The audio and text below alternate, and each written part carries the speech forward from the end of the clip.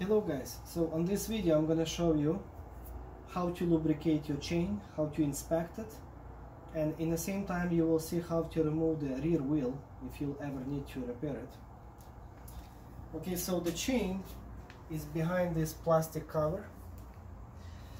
Realistically you don't need to remove the wheel if you have a stubby or short screwdriver so you can have access to those screws right here but if you don't have such a short screwdriver as you can see the regular one will not fit there you will have to remove the wheel to in, in order to remove this cover. So let me remove the wheel. You will need a 5 millimeter hex key and a 10 millimeter wrench and there is a there is a bolt from the behind. So you have to remove it.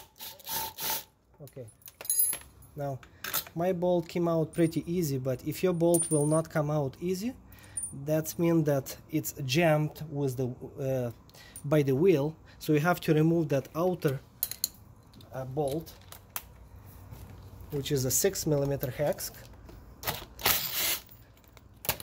And uh, once you remove this bolt you can wiggle the wheel and that bolt will come out from the inside so once you remove the wheel now you can put it here.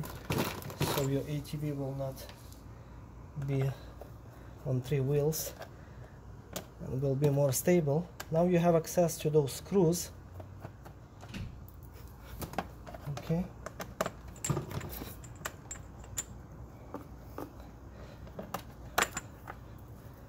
And number four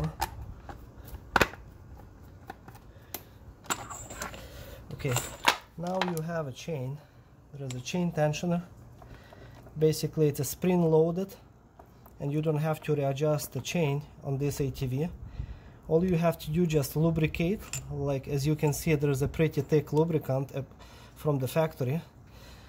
But it will last maybe for two three months. Depends how often you're going to use it. And then you have to apply some more grease to make uh, to keep it lubricated because it could be the chance that some water will get in between this uh, shaft and the plastic cover. So you don't want to have any rust on your chain. And obviously if you having a problem with the chain tensioner or this roller it will need to be replaced eventually.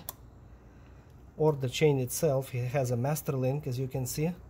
So you don't have to remove the sprocket to remove the chain you can do it through the master link. Well now you know how to get into the chain. If you ever need to replace that lubricate it or maybe you need to replace those bolts or sprockets on the shaft in the future. Once you put everything back remember to